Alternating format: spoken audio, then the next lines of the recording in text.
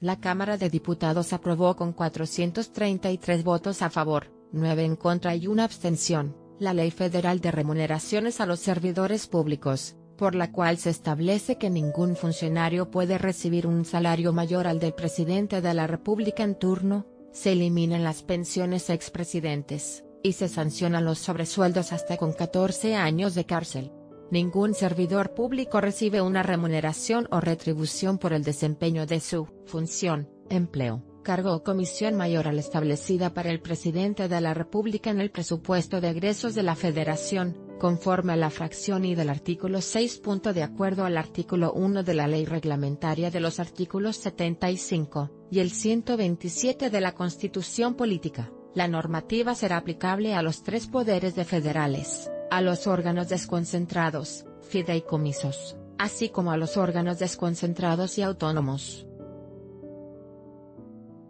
Además de eliminar las prestaciones, jubilaciones, créditos, préstamos y anticipos no contemplados en la ley, se castigarán los pagos no autorizados, bajo el delito de pago recibo indebido de remuneraciones de los servidores públicos. Dicho delito será sancionado desde con 500 veces el salario mínimo, hasta con 14 años de prisión, y una multa de 3.000 veces el salario mínimo, según las modificaciones a los artículos 217 bis y ter del Código Penal Federal. El 11 de julio, el presidente electo Andrés Manuel López Obrador anunció que las reducciones salariales, la eliminación de los privilegios de la burocracia federal, y la cancelación de las pensiones a los expresidentes, sería la primera iniciativa en aprobarse en el Congreso de la Unión.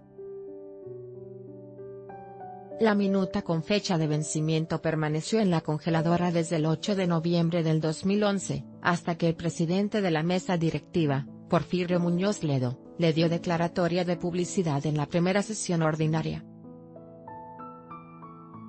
Oposición acusa que todo fue al vapor. Esta es la primera minuta aprobada por mayoría absoluta en la 64 legislatura del Congreso de la Unión, pese a que la oposición se manifestó en contra de darle salido al vapor. No votaremos a favor de una minuta que hibernó hace siete años, declaró la diputada Dulce María Sauri Riancho, quien a nombre del grupo parlamentario del PRI arguyó que la minuta no contempla cambios legislativos de los últimos siete años